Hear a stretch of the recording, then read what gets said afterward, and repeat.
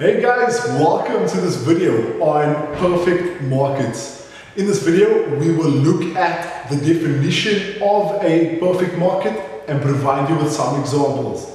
We'll also look at characteristics and what makes up a perfect market. So stay tuned for more.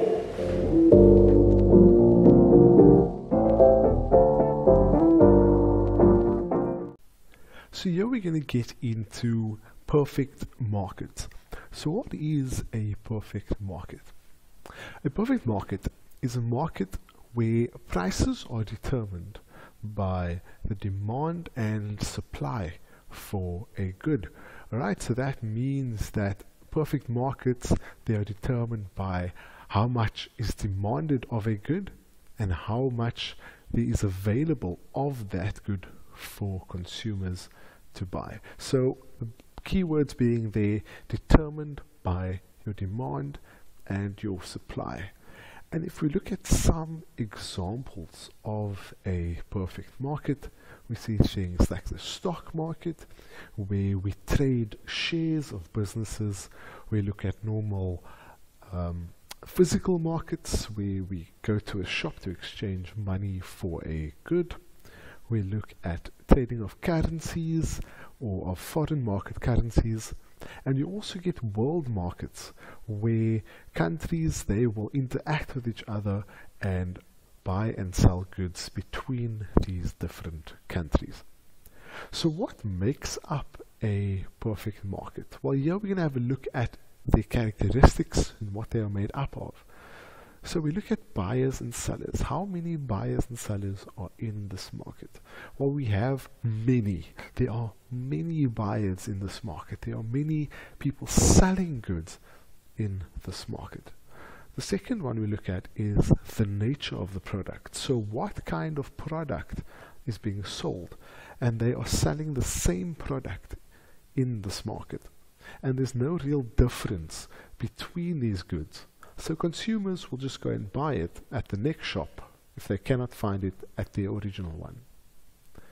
The next characteristic we look at is the control over price and whether or not perfect markets have control over price. And in a perfect market, there is no influence. They are known as price takers. So they take the price as is given to them.